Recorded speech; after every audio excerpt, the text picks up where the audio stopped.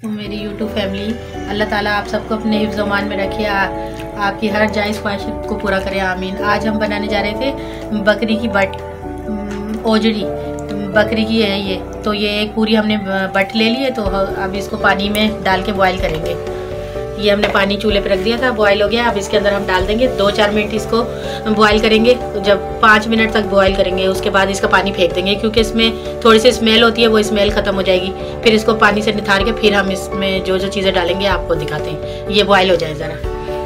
देखिए बट हमने पानी में बॉईल कर ली थी, अब 10-12 मिनट बॉईल करी थी, उसका पानी फेंक दिया और इसको फिर दोबारा वॉश कर लिया है। एक बार फिर वॉश कर लिया, अब ये साफ़ सुथरी हो गई। अब इसके लिए मसाले क्या क्या जाएँगे, वो हम आपको दिखाते हैं। दो अदरक प्याज और ये एक बड़ा चमचा मिर्चों का है, एक बड़ा चमचा धनिए का है, आधी चमची हल्दी है और आधी चमची गरम मसाला है।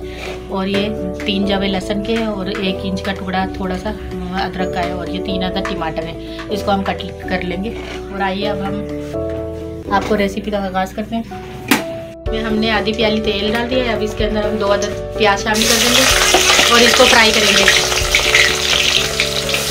ब्राउन हो गई है? अब हम इसमें ये अदरक लहसन जो हमने पीस के रखा था, इसको शामिल कर देंगे। और इसी के साथ ही ये टमाटर जो हमने तीन अदरक कटर किए थे, ये वाले डाल देंगे। और इसी के साथ ही हम ये सारे मसाले, नमक, मिर्ची और पिसा हुआ धनिया, ये भी शामिल कर देंगे। और इसको थोड़ा फ्राई करेंगे। हल्का सा पानी डाल देंगे। पानी डाल के जब तक टमाटर सॉफ्ट होते हैं, तब तक हम इसको भूनेंगे। भूनने के बाद मसाले में बट शामिल करेंगे। और पानी डाल के छोड़ेंगे जब तक गलेगी अभी हम आपको दिखाते हैं मसाला बनाते नमक दिखाना भूल गई थी तो ये अब मैं नमक इसमें शामिल कर रही हूँ, मसाले में, और इसको भूनते हैं। फिर ये नमक भी भूल गई इसलिए। थोड़े सॉफ्ट हो गए, थोड़े से अभी खड़े खड़े हैं, मगर इसी में ही हम ये बड शामिल कर देंगे, क्योंकि ये जब तक गलते रहेंगे, और इसी के साथ ही ये बड भी तैयार होती रहेगी गलती रहेगी।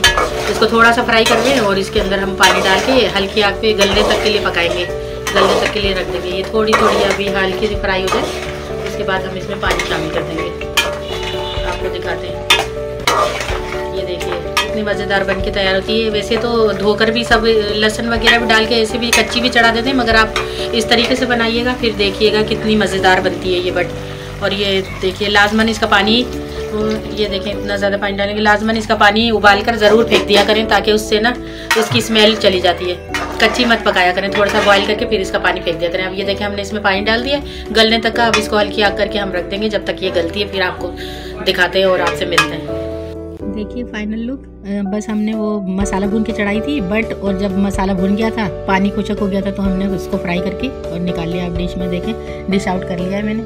कितनी मज़े की बनकर बकरी की बट तैयार हुई है। बनाइएगा, खिलाइएगा अपनी फैमिली को और दुआओं में याद रखिएगा।